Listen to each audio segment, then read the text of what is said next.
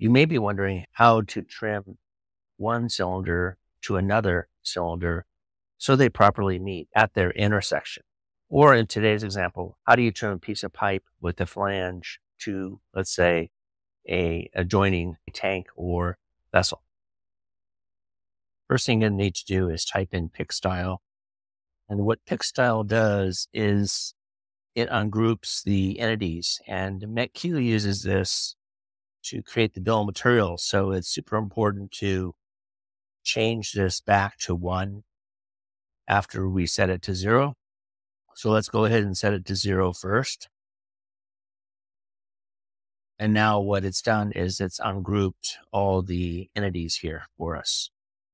So the next step is to convert this solid here into a surface.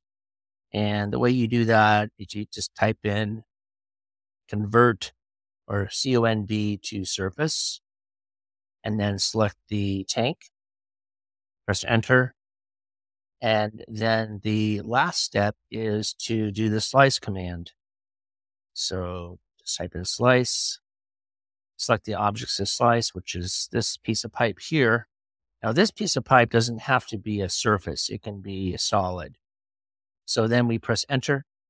And now we can select this option down here called surface and then select the tank and then press enter to keep both sides. So just go ahead and select enter. And now what we can do is just erase this one side with the E command. Oh, don't forget now to change the pick style back to one.